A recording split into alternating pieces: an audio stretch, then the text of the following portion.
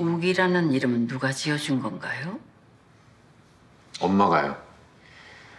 세상을 밝게 비추는 사람이 되라고 지어주신 이름입니다. 그래요.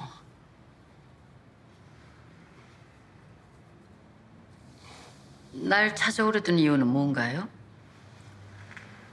따님 사망했을 때 제가 거기 있었어요. 무슨 말이에요? 우리 집에 있었다고? 엄마가 일하러 갈 때 종종 따라가서 그 집 다락에 있었습니다. 그때 수연이 모가 종종 같이 놀아준 기억이 나요.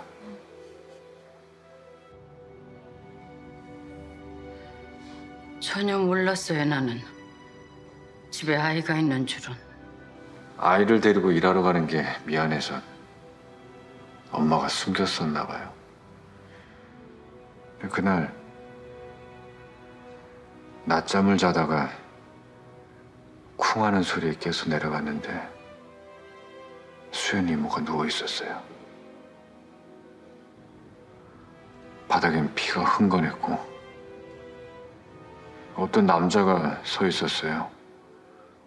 뒷모습만 봤는데 너무 무서워서 다시 다락으로 올라가 숨었어요.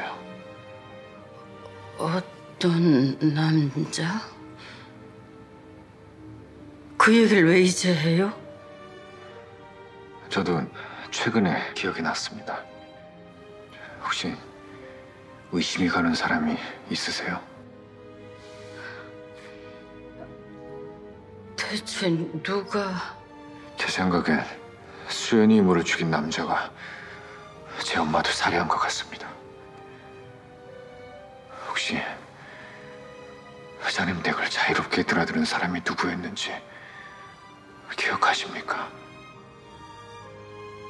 운전사하고 한 달에 한 번 오는 정원사 그리고 가사 도우미 셋이 전부인데 그날 운전수는 나랑 같이 있었고 정원사는 집에 오는 날이 아니었어요. 아 다른 곳에서 일하고 있던 것도 확인했었고 제가 본 그 남자는 양복을 입고 있었어요.